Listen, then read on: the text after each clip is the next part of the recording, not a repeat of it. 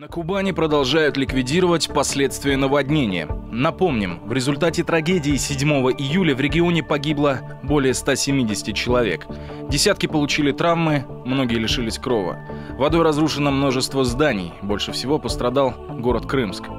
На месте ЧП МЧС по-прежнему ведет спасательные работы. Регион дважды посещал президент Владимир Путин. Он лично выслушал жалобы населения о том, что городская комиссия неверно оценивает ущерб, нанесенный стихией.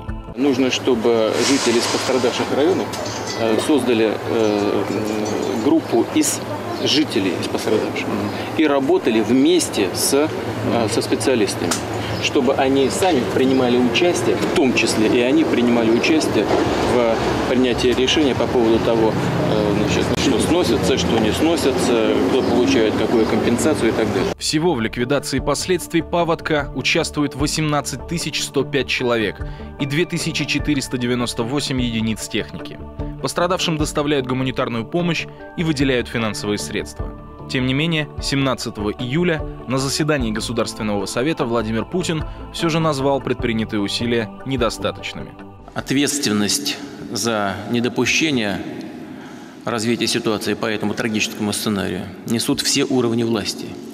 И местные, и региональные, и федеральные. Комсомольская правда также следит за развитием событий и старается помочь пострадавшим. 18 июля в Крымске выходит спецвыпуск газеты, в котором все восемь полос полностью посвящены теме помощи людям, пострадавшим при наводнении. Номер распространяется бесплатно. С его страниц люди смогут узнать самую свежую информацию о ходе восстановительных работ, все о положенных компенсациях и о том, как их получить.